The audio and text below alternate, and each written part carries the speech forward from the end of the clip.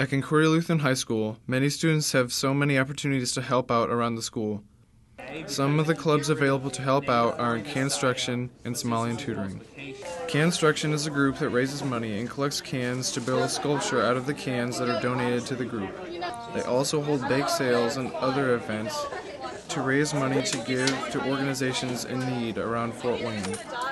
It is a club that is looking to benefit the world around us, and all proceeds go to the surrounding area. This club at Concordia was started by Mrs. Salisbury and has been making amazing sculptures that can be seen in Glenbrook Mall and other places throughout Fort Wayne.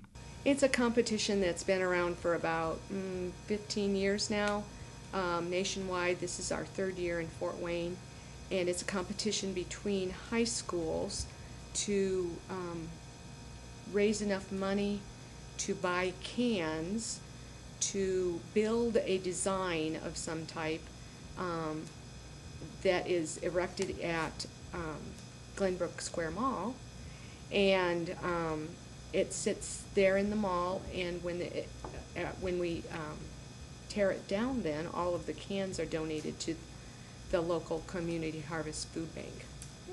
Somalian tutoring is another amazing opportunity for kids to help others in need to learn basic math and English. This help occurs every Tuesday and Thursday during the school year and is a growing club that is all about helping others.